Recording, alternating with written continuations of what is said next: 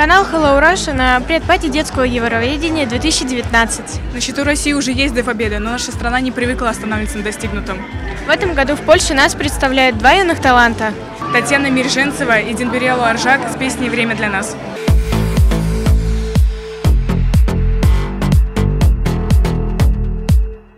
Денберел, вам всего 13 лет, но вы исполняете свою песню с недетской хрипотой. Это вы так тренировались или это настоящий голос? Ну, это мой настоящий голос, ну, у нас в Тве все так поют, ну, это у нас традиция такая, но... Когда я пою, я рисую, и еще меня очень волнует проблема с загрязнением нашей планеты.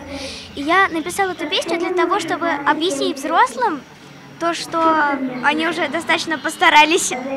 Что главное в победе? Для победы главное быть а. фартовым, а, б. талантливым и с. просто быть.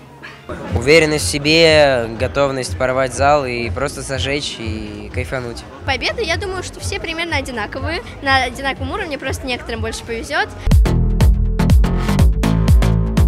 Что главное для победы? Для победы главное стремление. И если, я считаю, есть стремление, то будет обязательно результат. Вера в победу, уверенность, талант, труд. Главное уверенность в себе и, конечно же, не волноваться, потому что волнение может просто нарушить весь свой настрой. Каждый человек должен найти свой такой ритуал, как настраиваться.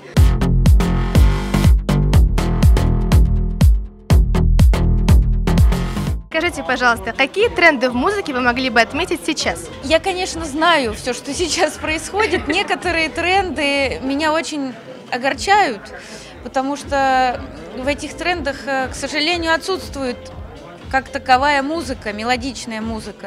Как показала песня «Когда ты станешь большим», тенденции к примитивизму там и, и а, или там а, какому-то набору маленькому слов или просто э, эмоциональный какой-то, это не основной тренд. В любом случае, э, даже песни с большой мелодией, с, с большим количеством слов и с глубоким смыслом может стать реально суперхитом.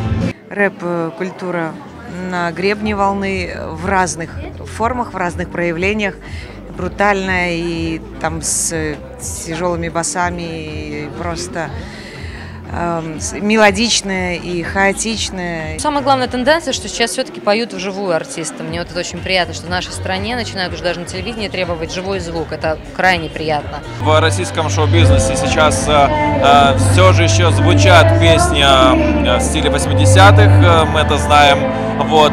Также R&B музыка тоже до сих пор, я думаю, она еще будет очень долго. Расскажи вообще, что сейчас происходит в твоей творческой жизни, чего нам ждать? В моей творческой жизни сейчас произошел такой небольшой перелом.